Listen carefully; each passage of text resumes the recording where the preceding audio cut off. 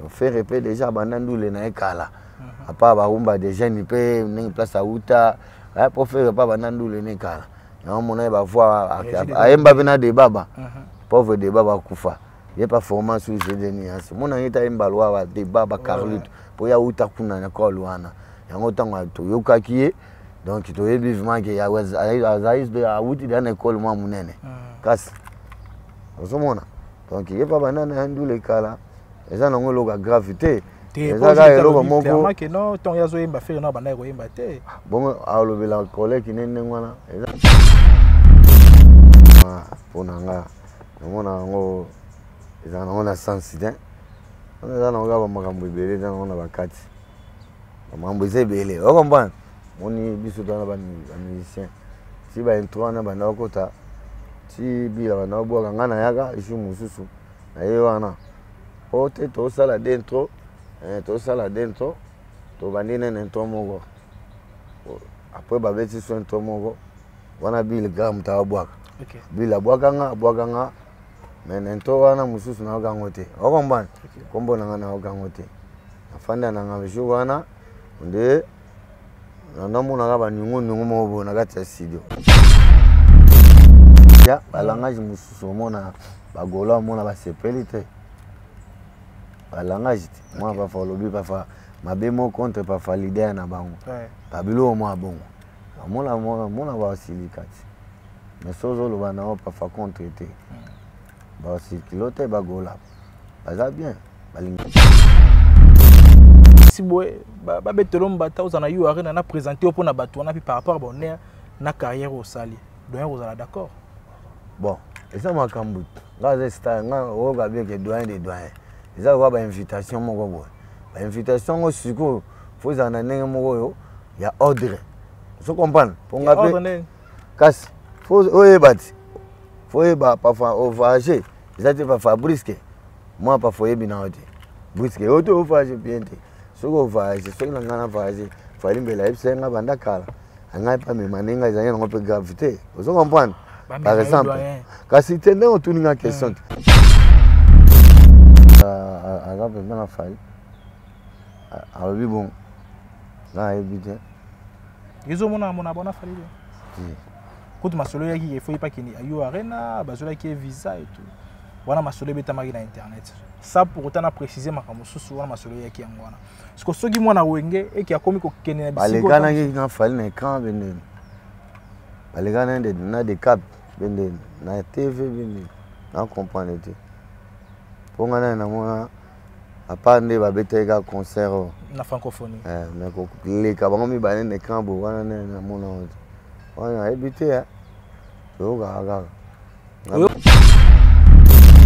na ba JDT ba tutututu po JDT pe mais po zaki kofunda te na loba bango pe ba yebi bango pe ba yebi ba na wenge ya kala mm. bango nde ba yeba ba kala po nga kala nga ba na beta na pa bozi okay ma JDT siko kala pe ye azali na el paris hmm. moni wenge ntango sikoyo el paris nde ekabwani sud eta kitine kin mhm. toyesala su maison mare toyekutana ne sikoyo na maison mare ozo comprendre ferre déjà azalaki déjà na wenge wana tokendaki déjà na jésus de nuance wenge na biso asemble ntango mambo ya kaluji ezalaka hmm. yango nde na banzomonaka ya jésus de nuance ndenge adefandaka kaluji na poste, na poste wana ntango problème ekweaka oyo ezali na oyo makambo ya kalakala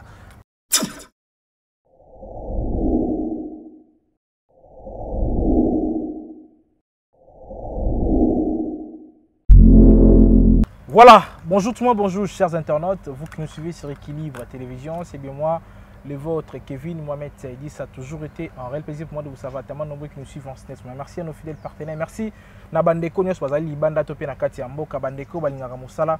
oyo tosalaka bandeko bazoporte main forte na bango mpo ete mosala ekende liboso je vous dis un grand merci pour ça et puis euh, je dois dire un grand merci comme ça na nzambe oyo apesi biso makasi mpe force ya kotelema une fois de plus liboso na bino tozali euh, semaine ya sika oyo nkolo aofrire na biso aofrire na bino bato bakolanda biso apesi biso nyonso tozindaka nkolo yesu masiya makasi wana déjà toza na kati ya émission lelo tokosola masolo ebele oyo etali baactualité ya musique na biso mais déjà na kati ya émission yango tokoyamba nani tokoyamba doyen ali mbonda oyo azali mpenza moto azali de grande renommée moto oyo mpenza nkombo ekenda makasi na kati ya culture na biso na kati ya musique na biso et lelo doyen ya limbonda tokosola mwa masolo ebele parce qu'il fait partie des musiciens oyo baza mpe na bachanson na kati ya bag dynastie volume 2.2 ndenge na kati ferregol apesaki opportunité na bandeko na ye bazwa ntango ya koyemba to mpe kotya banzembo na kati ya album na ye wana ya kitoko ya limbonda mpe azali na chanson na kati wana déjà pour ne pas me poser ma parole nazwaka mon invité qui est à ma droite oyo ezali doyen ya limbonda oyo nakobanda déjà na bonjour, bonjour. doyen ya limbonda ouais, bonjour boni santé Sante posi. Kala makasi ya doyen. Kala kala yo bika biso toza ba ba star moko ba artiste moko oyo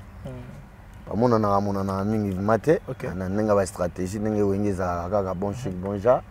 donc naza na ngai baboulot oyo toujours esalamaka nango amona bastudio mais depuis un certain moment olingi olingisu media te olingi olingisu tv te mpo na nini bon te tolingaki bastratégie ezala ntango oleka na media fo oyeba eloko nini ozoleka oloba nini eza nini mpo hmm. otalaka tv ndenge ezalaka bato mosusu ndenge nazoyoka ere moko bazodeborde koloba kofinga ere moko toinvita biloko ya bongo voilà euh, doyen ya limbonda lelo il faut torapele na bandeko ke ozali parmi Euh, bandeko oyo lelo fere kola apesi bango opportunité wana asali bango grâce wana yake batya bachanson na kati ya album na ye oyo ezali album mpenza asali yango kitoko makasi déjà album na bino ezali fala titre yango wana euh, te album et plutôt chanson chanson na bino ezali fala hmm. fredi fala ok fredi fala fredi fala yo moto otekaki chanson to fere moto ateki chanson bon chanson eza ya yo mais fredi fala tiaki kozwa chanson yo moto olukaki fredi fala to fere moto alukaki fala kisombe nkombo hmm. na ye yango wana nabanza boyokaki fredi fala toza bamusicien te toza baartiste ntango deya bapesi yo champ na yo mhm. yo moko mpe fo luka te olukaluka moto oyo akosomba yango ndenge ezalaka ntango mhm. ba chetagola juste de nuance napesi ye mbote eh, place azali moto ya yambo na mosika na états-unis mhm. eh, babetaki mpe concert na bango na dallas elekaki bien batutu basepeli eh, ndenge kaka alobaki aza na idee na bien uh -huh. asangisaki biso abia mutu na mutu atya nzembo na ye atya nzembo ateka nzembo na ye azwa alar na ye mhm. oye moto asangisa ya biso tu abengi nga abengi bato tu abi doyen doyen fatiaka achan doyen tia chan apeyeka doyen azala bien oyebi kaka ndenge ezalaka bakoka kotika nga te yango amoni napesaki bafélicitation bafélicitation kua mhm. eh, yango amonaki nalukaki lukaki mpe toluki nzambe mpe asungi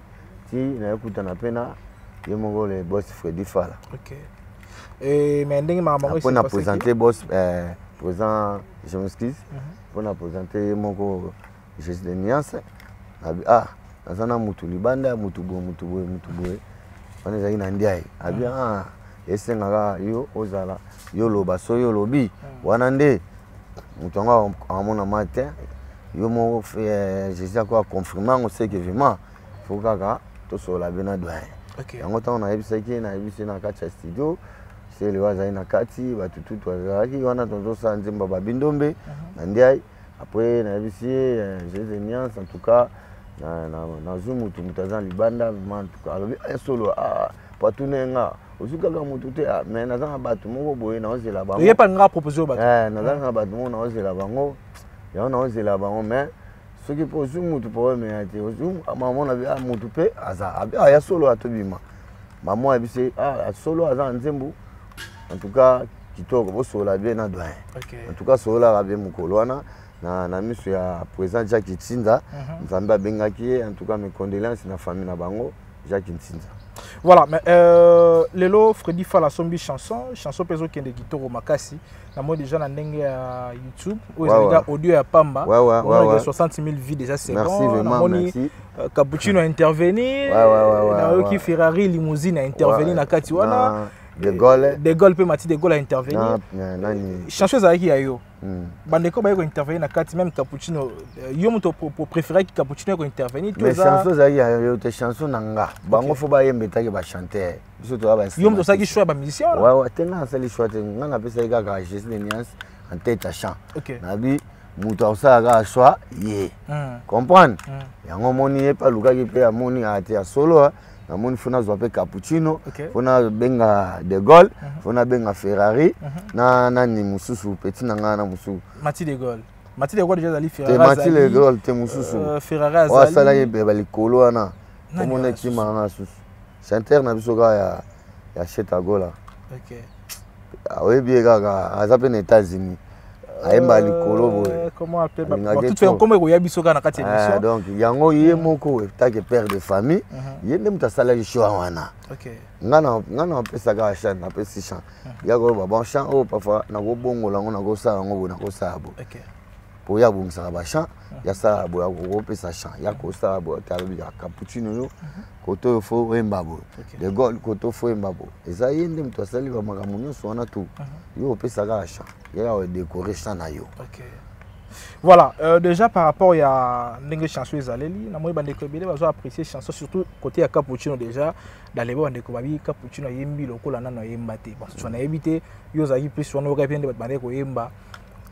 tokoki kotelema pene na mwa logique wana ke ayembi lokola nano ayemba te te ayembi bien ayembaka déjà bien te ayembaka déjà bien bato mosusu bagel oka pot de fleur te ayembaka déjà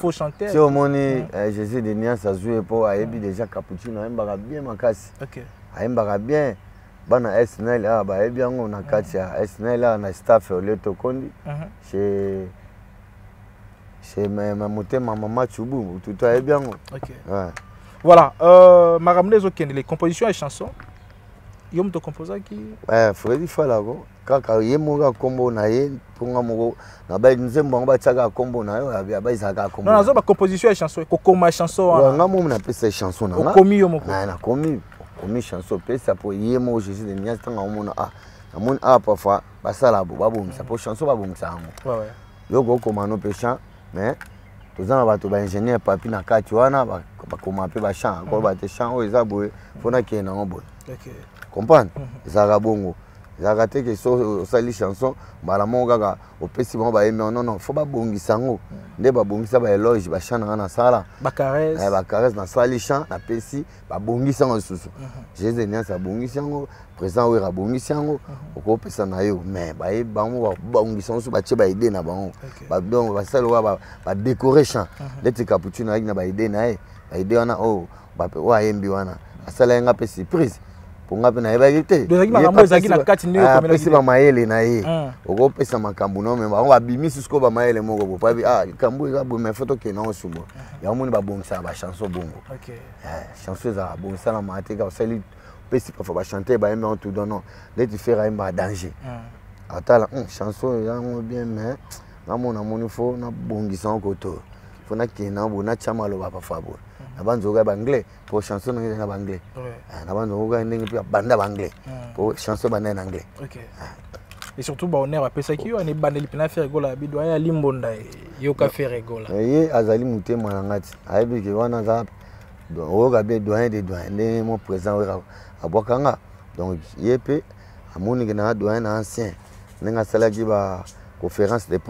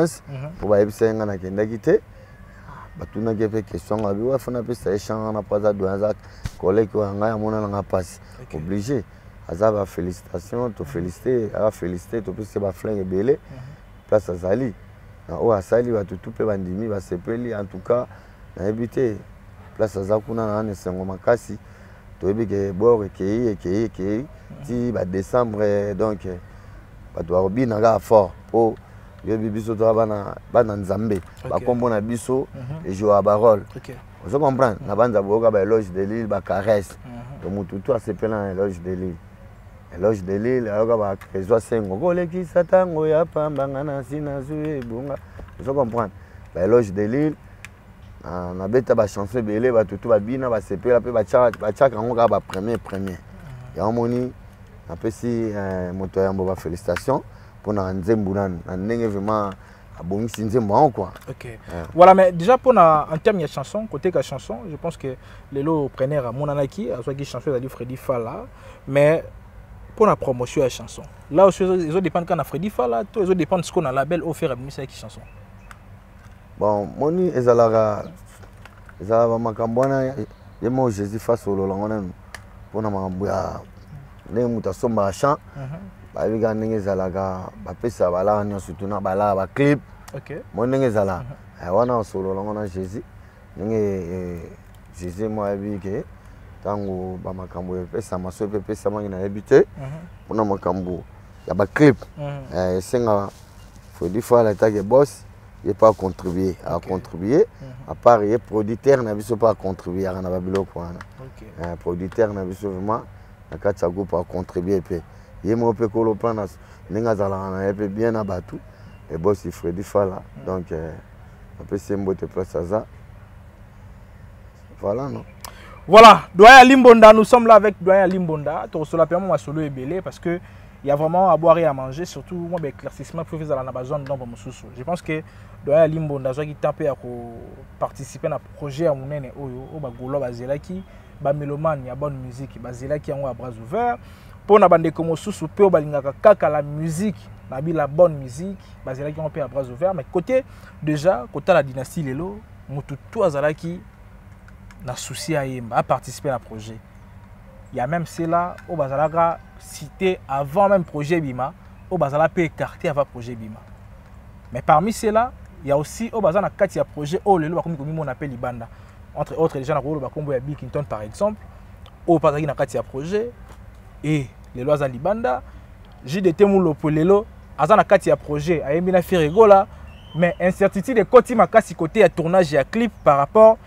ya lelo nde bandeko bamoni akomi kosafiche na fali ipupa lelo otango ozalaka na feregola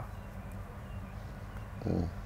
est ce que ya eu des problèmes na bandeko na ye wana na interne bien ke bondaki kopropare makambo nyonso bien ke bozalaki bino nyonso na kati ya lisanga wana mais est ce que bofanda na ye to koyoka ata na mosieke no azalaki na problème ntango mosusu na billington to azalaki na problème na weranson par exemple nde bili akoyesa biso ke non nkombo ya weranson ezalaki au centre oyo esalaki bango bale bapanza na fere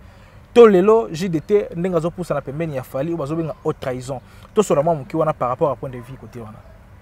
bila aloba nini abike non ti lelo alongwaka na dynastie ezalaka mpo fere alingaka batya nkombo ya weranson te na kati ya générique ah. wana vraimen mpo na nga namona yango eza nango na sense te wana eza nango kaka bamakambo ebele eza nango na bakati mambo eza ebele okomprendre moni biso twana bamusicien ti baintro wana banda bakota ti bila banda babwaka ngai nayaka jour mosusu na ye wana o te tosala dentro eh, tosala dentro tobandi nene intro moko après babeti so intro moko wana bil gram ta babwaka bil abwaka nga abwaka nga me na intro wana mosusu nayoka yango te okomprendre nkombo na ngai nayoka yango te nafanda na nga jour wana nde namonaka baningo ningo moko boye na kati ya studio ndenge ezalaka kakatension ezalaki bien te eh, donc nde namona eh, baningo ningo kaka so comprendre mm. telema na nda okota vraimen na suki yango bien te mm. naolandaka bamakambo na nga ah, naolezaka na susa nzembo na nga fo nateka na echan na nga ocomprendre mm. après naolanda naye bamakambo baintro nafanda vraimen bina constate yango vraimen kitoko ocomprendre mpo nazali so na bacri moko ya bien bien mpo napesa se leo bil mpo tout travaille ocomprendre mais namonaki nde nde baza ma alaise te donc nde alaise te alandaki yango te natuna ye mpe bango te nazoyokaka banungunungu nga mpe nakokonstate makambo na nga mais babanga mwango namona yango ezanga nga na sense te de la foret aza grand prêtre ye babwaka te déjà talaka weranson ye moto asala biso tu yeyebi bato tu bazala na ye moto asala biso tu wana ezala nango mpo na nga na kipaka nango bamakambo wana te wana babilo wana bwaka yango yoa motu moko yo fo tunanga bakestion moko boye ndenge dinasi ebimi boye ndenge tondo olobaki mamba fredi fala bapromotion wana olobi bien baclip nango fo ebima comprendre félicitation na cappuccino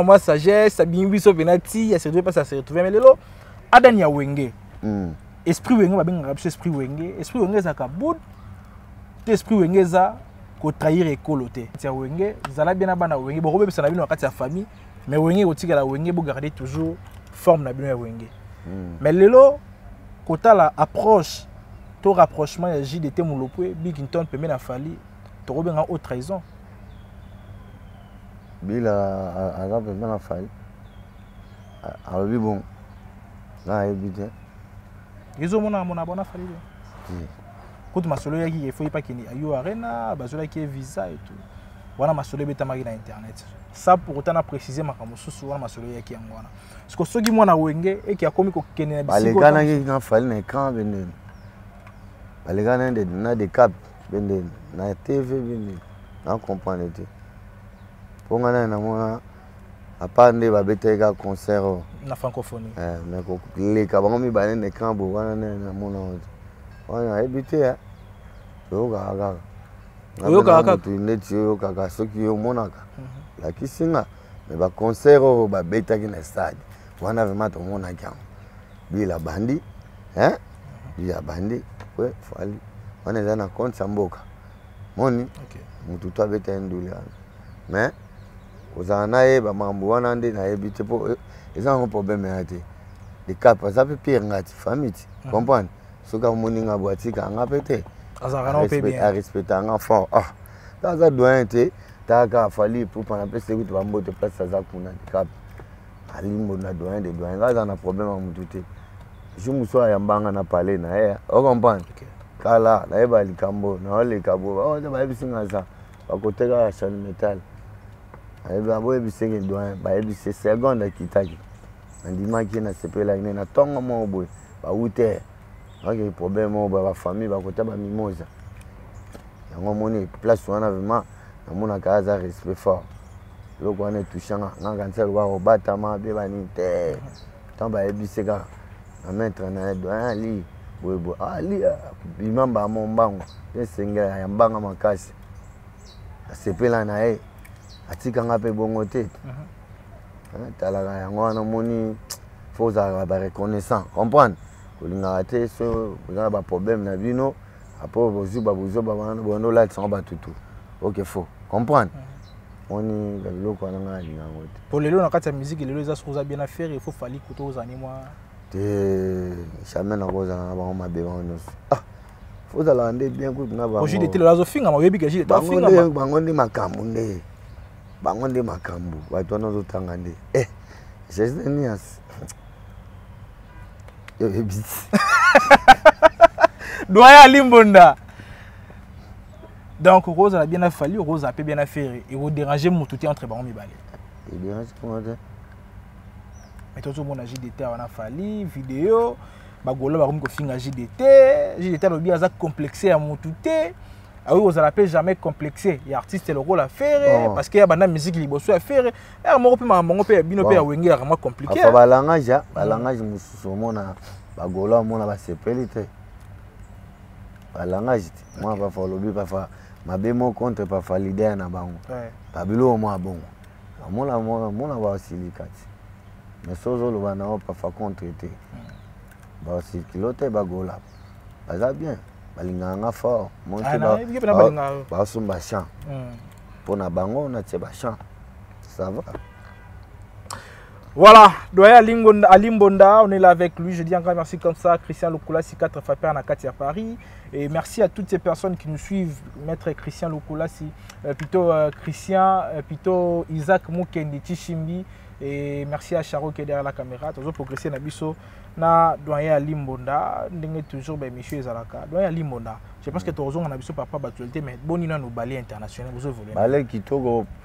Ah, petit na ngai na uto toza na pembeni toza na ye mhm. petit na ngai mike mondele toza ba couleur baza wana donc staff eza ma bamaître mabele batutu tozali eh, bacubu na kati ya mikili aza mpe na kati ya bale na biso mpo bango eh, eza bale international mhm. ndenge na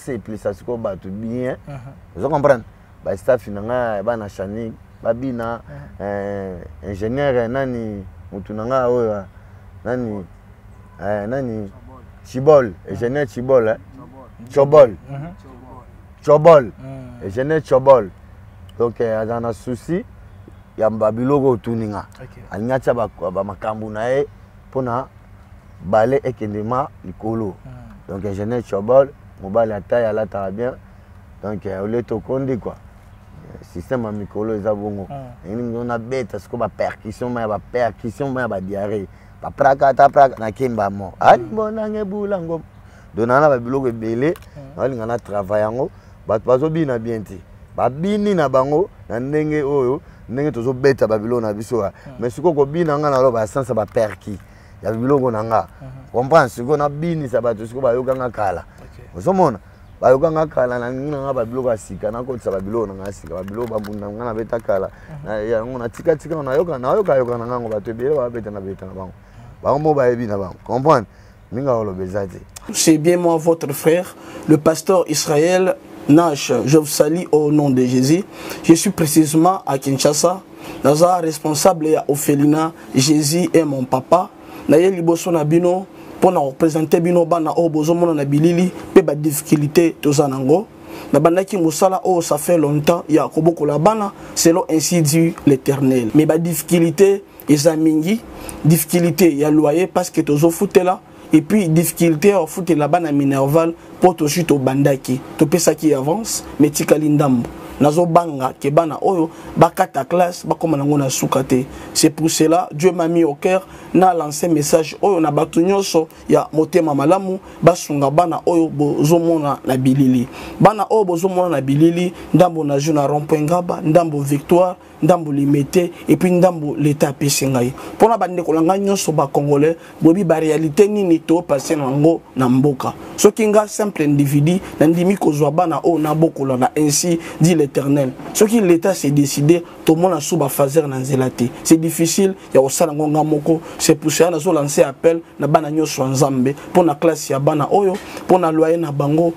kolata mpe kolia na bango na osenga na bato nyonso baza cœur sensible mpe baza na motema kosunga basunga biso mpe basalisa biso toza na commune ya kalamu quartier kauka référence ya monene tokangami na université kimbangiste aveni nkombo na yango eza marin numero 16 numero ya telefone na biso mpo na bato balingi bacontacte biso mpo na badetail mosusu eza plus 243 89 72 32 229 nzambe apambola bato nyonso oyo bakoassiste biso merci beaucoup mbote mbote bandeko eza lisusu ngai mama mika la cosmétologue réparatrice ya loposo comme toujours nayelaka bino baproduit naturel fait à base ya bafruit sans hydroquinone ya lelo ya sika eye mafuta ya bana les de beauté mika bebe en tout cas ezali de 0 à 12 ans esala bana na bino kitoko makasi je vous assure bosepela nango ezobongisa po ya bana ezorendre yango lise propre très agréable ezala bana mwana bimaka bambuma na nzoto ba, ba, ba mapalata bamakodia banini en tout cas ezosoigne mpo ya bana kitoko makasi mama mika amemeli bino lisusu bandeko pomade na biso vimbovi pomade oyo ezali pomade raffermissante mpo na mabele basin epuis bassin na bamole en tout cas ezovimbisa makasi bandeko bosala bacommande bopase bacommande na bino bokosepela na yango makasi nzoto yaya papa mama tobongisa yango kaka tozali na pomade na biso ya suki e bato oyo suki ekatanaka pambapamba bato oyo suki ezalaka pepele bato oyo bazala na mabanzi solution yango eye baproduit très naturel toza na pomade ya suki toza na huile ya suki huile oyo ezosunga bato bazala na basalite na bacuire chevelire na bango bapoussière baloto oyokaka mokusa yo so bayoka yango soki okoma mal à l'aise solution yango eye huile na biso huile cheveux mika ekosunga biso makasi toza na pomade oyo ezovimbisa suki suki ekoma noire ekoma kitoko bandeko boya ebele tozali na crème na biso te metisi mpo na basi ya pembe mibala pembe bandeko na nga ekosala yo bien yo mutu pembe na yo egata yaka mbangu passe commande na yo ekokomela yo tobosani te basa mwindu basa shokola mibala mwindu ya shokola crème de beauté mika yango oyo ezali mpo na bino bopase bacommande esala bino bien makasi toza na beurre de karité na biso pure bio yango eye bandeko esilaki bopase bacommande eye toza na crème réparatrice mika mpo na bato ya problème ya tampon cancer de peau barougeâtre banoir nduta solution yango eye bolia ebele toza na pomade antisola mapeka na deux jours apamba sola mapeka esili boya ebele toza na gommage café mpo na kogoma elongi oza na pomade ma bouton graisse bokima lombango gommage yango ye toza na savon noir fait à base ya café okozala très à l'aise na douche na yo boya ebele huile d'anana huile d'anana yango naturel en tout cas bokima mbango totika kotya tshoko e totika kotya tshoko bamama bapapa naloba yango aire nyonso tu toa na biso na possibilité nyonso ya koretrouve te na biso normal oui. ezala ebebaki ekomaki ndenge nini nayebisaka bino solution yango oyo solution yango oyo totika kotyaka tshoko bamafuta ezobebisa bato totika hydroquinone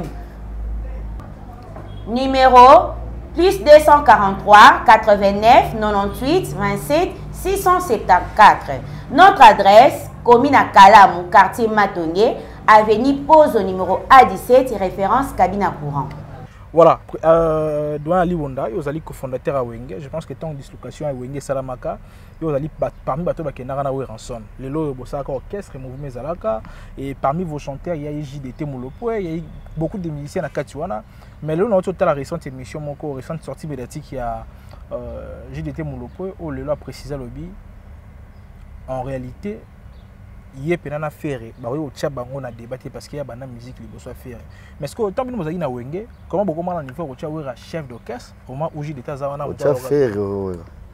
kotia fere nde chef d'orchestre yo oyebi wera te na bi botia fere pito c'est ça ah. hmm. kasi loba continue olobi bien ti ti botiaka fere chef d'orchestre omapesi jude te azali oyo aza lokola doyen na ye na musique bosalaka yango par rapport ya shongo esalemaka na ndenge nini par rapport à koyemba kaka par rapport à qualité ya chanson nde moto akomposaka chanson to par rapport à koyeba ndule to anciennité par rapport mpe makambo wana ezalelaka Ah, wana fo fotuna bamete muyomba safi tikolela donc eh, bango nde bayebi bamasolo wana bafanda na ba jdt batutututu mpo jdt mpe eh, te naoloba bango mpe bayebibaba na wenge ya kala mm. bango nde bayeba kala mpo ngai kala ngai banda obeta na epa bozi jdt sikoyo kala mpe ye azalaki na el paris hmm. moni wenge ntango sikoyo el paris nde ekabwanisi deta kitine kin mhm. toyesala su maison mare toyekutana ne sikoyo na maison mare ozo comprendre ferre déjà azalaki déjà na wenge wana tokendaki déjà na jésus de nuance wenge na biso asemble ntango mambo ya kaluji ezalaka hmm. yango nde nabanza omona ya jésus de nias ndenge adefandaka kaluji na poste, na poste wana ntango problème ekweaka oyo ezali na makambo ya kalakala donc ferre mpe déjà abanda ndule na ye kala mhm. apa barumba de jeune mpe ndenge place awuta eh, mpo ferre mpe abanda ndule ne kala yango mona ye bavoi ayemba mpe na debaba mhm. pauvre debaba akufa ye performance ou jeu de nuance mona ye tayemba lwa ba débat ba carlito mpo ya uta kuna na col wana yango ntango toyokaki ye donc toyebi vima ke awuti deya na ekole mwa monene ah. kasi ozomona donc ye mpa banda na ya ndule kala eza nango eloko ya grave te eza kaka eloko mokobongo alobela koleki ne ndenge wana eza nango bamakambo ya mike wana motu na ye ti ngai nayebi ke bango na ye bazalaka bien tofandaki na nga nga nga afanda nafanda zede nyasi alelisa singa abenga nga nakenda ti chez alobi fo bongama tokende anniversaire ya jdt ye moto amema nga wana fere moto abengi eh, tokei nga na ye na temba ocomprendre tokendaki na temba tokendaki ma na temba eloko wana nabosana yango te kuta alongola nga mo eloko moko balobi te oyo oh, batyama eh, car plein comprendre comme ça soir 19 heures mhm. komi ok soki ngai baobongisa na suki soki ngai ngai na suki ebongi te yo ngai na yo ozwaka kaka yo zelanga kaka po ayeba ye place na nda ofanda mhm. ayemba mwa azwi nga claude fataki na mpe mbote bana bova bawanya fataki bango tu bastaff mhm. ndenge ezalaka kaka bamaitre jeep bana bolongo tuna mpe bango bambote ndenge ezalaka kaka bana bovan kua bato na ngai basololaka bien mhm. kitoko u aye mpe kozwa nga comprendre tolanda ntisi na nini na temba na anniversaire ya jbt bongo lelo ekoma bon nayebi te ponka mosunga mpe nayebi te nazalaki eza mpe ya bango ya bakati hmm. eza nango problème te makambo motu basolola yango comprendre makambo motu basolola yango jesus de niasi moto ya yambo ngai yo natekaka champ na ngai nazwaka mbongo mhm. jamais aloba okabola oh, mbongo wana asala boye non non non hein bato tu na kati ya mouvement bayebi mhm. bapichu eh, eh, pichu botoko ah. ayebi na mpe mbote na états-unis place azali eh, blaise epolo ayebi ngai aliaka na bato bajapon da bayebi donc na ngai motu tu ayebi motu tu ayebi ata mwa sikre ata nini ntango natekaka nzembu na ngai azwaki na kati ya orchestre comprendre donc euh, ferre gola asengaki nga mbongo te kabula mbongo esalanga bo nono napesaki bafélicitation ye apesaki nga kashana ateki nzembo na nga makambo mosusu soki ye moko akosunga nga na ndenge etaki ekombo na ngai eza monene etaki alimbonda eza problème te wana etali kaka ye moko aa ah, te mpo aza basurprise na ebele abiki aa ah, te fo eh, voyage ekokoya nakomema doyen mpo akopresente nzembo na fredi fala mpo bakotuna nga nini nakokaki bayebisa nga o oh, bababi mpe balobaki boye fere alobaki aza na projet fo bokebeta ndule fo bokende batyaki mpe nkombo ndenge kasi ndula yango kasi oyo bayebisa ye nga nga bichar na ezala mpe bien soki toke biso tu toke présente album yango otango ekoma air achan nanga fredi fala limbonda omoni te fo bamona limbonda babindombe nani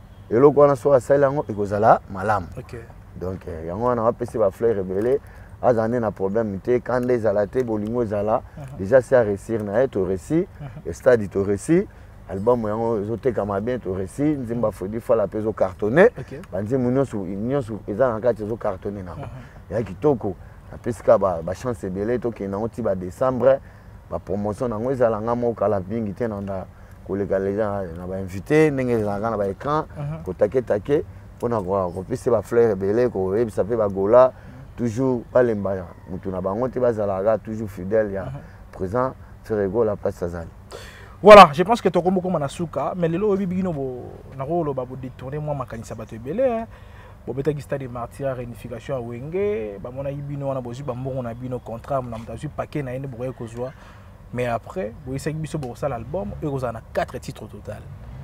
mais jusque là lisolo ya oyo bomonana na studio eza te oyo baconcert bokobeta na bamboka ya libanda jusque là lisolo oyo eza te finalement bozo prépare nini bopanzana lisusu na kati apres kozwa moko bopanzana na moto asomba motuka soki mapangu na ye makambo esileli wana to boza na makambo mosusu bozobongisa ata mosusu na kati ya masolo yango te makambo ezali ebele studio deja tosala ye bamaquete tokota deja studio na showbase tonton sala lokola bamaquete na yango kaka kokangisa ndenge ekozala nde tokende na nini kuna na cap vert mhm. eh, tokende projet wana yali eloba fati beton chef de l'état mhm. ye mwa alobaki fo tosala projet wana asepelaki na yango ndenge amonaki baange adorable mhm. amonaki président jb président wera président marie paul fondateur Didier Masela eh, ye moko ordinateur directeur artistique amoni biso nyonso al campone amoni ingénieur blaise bula mhm. eh, titi na al campone amoni nga doyen alimbona na mede fer mwana na ye amoni robert ekoko ta grand poète amoni patient kusangila mhm. amoni kaluji kalukemba seguin mignon donc amoni fikare amoni kipe mobimba donc jete donc équipe wana ezalaki équipe mobile mm. eh, donc kese ya, ya, ya, ya grand prêtre ye moko ya, ba, ya bapapa baza na projet wana basepelaki na ndenge tokangamaki wana oh, ouais. projet ezali talaka mikolo oyo président wera aza na baprojet ebele akendaki londres mm -hmm. président jb bamakambo ebele ebele euh, concert na états-unis mm -hmm. na makambo ya banda prépare disque na ye donc batemp ebanda opesa te mpo tosangana lisusu na aire wana okay. mais sikoyo kuna biso toza sikoyo baliopard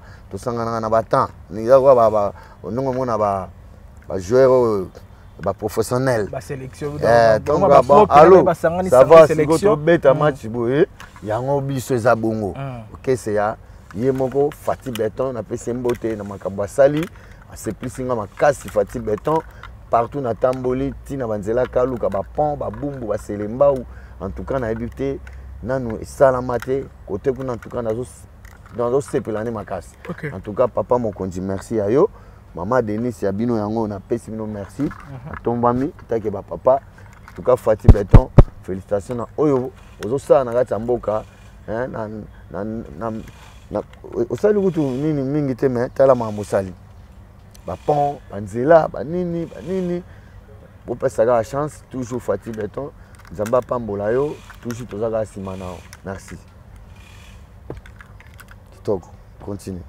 ere mo bokomo bwakisa biso bokomo lembisa biso na sens ke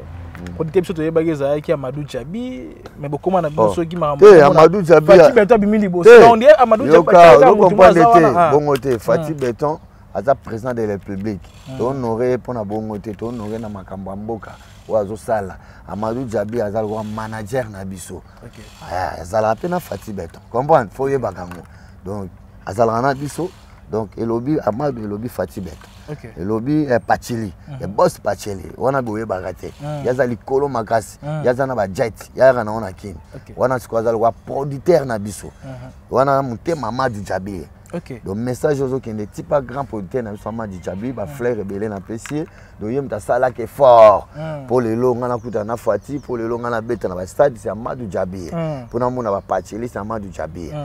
na président na ngai wera président jb bango nyonso tout mm. fondateur didie masela donc baza félicité bango nyonso tout na wenge na biso bon chic bon genre okay. donc eh, fati beto aza président de la république papa mokonzi fo kopesa ye bafélicitation na makambo azosala kotyaka ye na bamama miziki te miziki asungaka biso bamusicien etake alingi miziki mhm. ndenge président mobutu azalaka kala baprésident mhm. ebele balingai miziki eh. donc il faut kosepelaka moni na likolo mpa nzambe mhm. apa koteya moni te babetaka miziki eloko mosusu te ah. na lola babetaka match batiaka misiki doyenokima osala yongo ndule likambo osala nango mm. ya yango mona so papa mokonzi aza na bafeti be likambo fo asangisa biso asangisa biso bana na ye nyonso baokese nyonso apona baokese te biso tu biso tu okese tu ya congo fati abetisaka biso na baétranger kutu bayaka mm. na ndenge mabe te abetisaka biso te me abetisa peuple nde moto osengaka asali yango mpo bozala bien bino tout tozala mère morale okay. fatiga to yango fo kopesaki bafélicitation aza papa malamu nalela ye fort voilà doyen mm. ali mbonda tokomi na suka ya mm. émission mm. je pense qu'une dernière question tokokabwana nango mbala moko lelo fali abeta yo arena wawa soki fali abi asurprendre eh, doyen abi keno eh, surprise moi esalami ntango mosusu doyen ayebaki na ye te osuduki ka surprise moi esalami doyen yaka na passeport mpasi boye babetelo mbata ozala na yo arena na présente yo mpo na bato wana mpe par rapport bonheur na carrière osali doyen kozala d'accord bon eza makambo nga aza star nga oyoka bien ke doyen de doyen eza lokola bainvitation moko boye bainvitation yango sikoyo fo ezala na ndenge moko oyo ya ordre ozo comprendre mpo nga mpe kasi fo oyeba ti fo oyeba parfois ovoyage eza te pa fabrice ke mwa parfois oyebi na yo te briske yo te ovoyage bien te soki ovayage soki na ngai na vayage fali mbele ayebisa ye ngai banda kala na ngai mpe amema nde ngai ezali yango mpe grave te ozo comprendre par exemple kasi te ndenge otuni ngai question te soki parfois alobi amema nga ndenge tozalaki na bachubu batutu banini akokaki mpe komema nde ngai eza problème te po namema na ngai doya alimonango trahison te bamona yango bien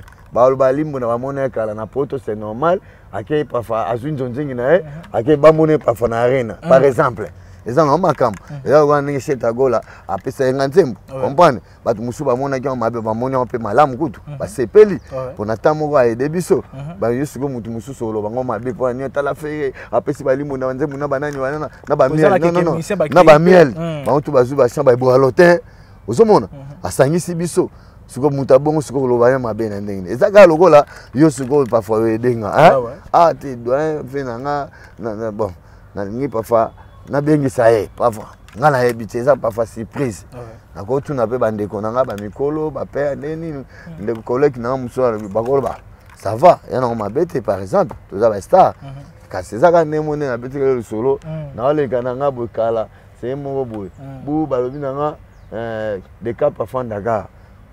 mama ya pamela bayebi bayebi ke dekap azala mpe motu na nga asolaka na ye mpe bien ntango natuni aza na wana naboyebi se doyen ntango namonaki abimaki esalaki nga plaisir eza kwa jésus de nuance soki mpe fanaki eluka ye ata sentinelle aza te ye moko mafongola mwa porte atali oh doyen ayaka ayaka ye abima ti libanda ayambi nga na comprendre ozomona bapesa honneur moto ya bongo okoloba mabe ne mpo na nini ata kutu mabe yango ezali fo bomba yango quand même hein donc fo kolobaka kaka babien nga na oya koloba mabe ne mpo na nini aye ah, boye non non non non tala kaka biso ntango babengo doyen de doyen mpo ah. bafani mpe ya mosusu ya baorchestre mosusu mpe basomba bazoyoka fredi fala bafaa te na préfère nasomba nayoka nanga nzemba fredi fala doya solola nanga bien fo oyeba koswanaka bcbg zaiko bino nyonso tu toya bana papa mo famille moko eloba nzembo preza wemba preza wera yembaka seke moko tolingana tosalisana tozali bata baekolo moko yawe naye tosoyeba ashana sikoyo baniveau na biso tobanda kofingaka bato balemwela na kati ya poto aomona yango fo Mishada ya Santa amona en faux, Pati ya Nzai amona en faux, eh, papa na nga Sule Bwangala amona en faux, Bera de Prince Zamuna amona en faux. Vous comprenez? Maman Dorothée Ferre na pesi mbote. Uh -huh. eh, papa Sule Bwangala, papa Jean-Jacques Bwangala, Dor eh, Yves Liaou, Alexis Liaou, bambote place bazali na poto Guy Becker ndenge ezalaka Jean Sitela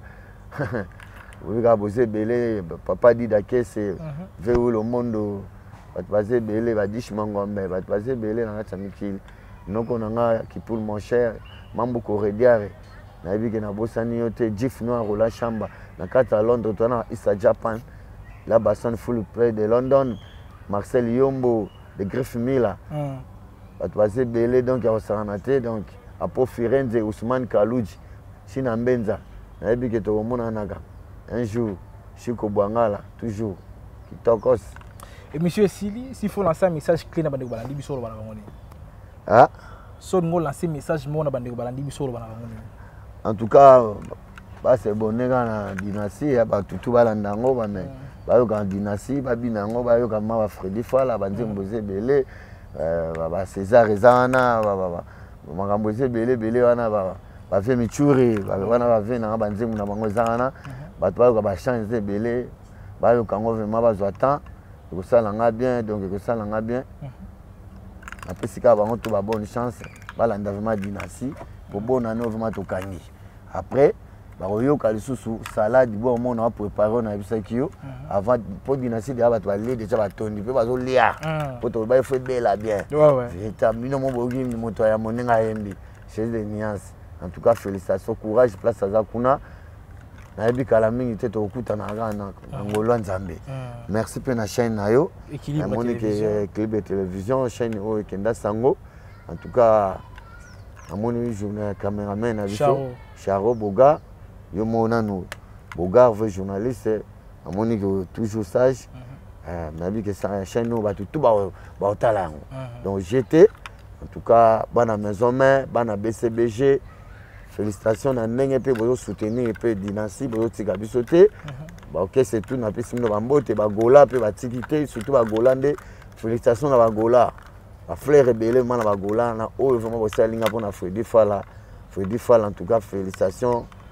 Kisombe Freddy Fala Kisombe boka chant wana ah. merci Dynastie D boyoka ngo vraiment bien Freddy Fala Kisombe merci thank you Voilà, on était là avec Doyen à Limbonda. Je pense que Bandeko Ebele, Bazui Bako Kolanda Biso, Mokola Lelo, Bazui Pétan, il y a une réponse par rapport à Biano, euh, Ndewa Barabiano, Namituna Nabino. ndenge bokomelaki biso mwa ebele doyen lelo toswaki ntango kosola na ye mpona mwa ntango ya moke je pense que bozwi mpenza biyano par rapport à mituna je dis un grand merci comme ça toutes ces personnes qui nous ont suivi du début à la fin je dis un grand merci au vice-bourgmestre de la commune de Limité, maître Isaac Mokendi Chishimbi. Et puis merci à Charo qui est derrière la caméra. Merci euh, comme ça, na bandeko nyonso balingaka mosala oyo tosalaka christian lukolasi 4 fois père na kati ya paris mm. mbote na papi nzeza na kati ya paris prosper luvuezo na kati ya paris également mbote na exaucé mizwa notre monteur na kati ya uh, kinshasa na kati ya ngoma mokonzi kinshasa papa mama opesi mbote te papa mama wapi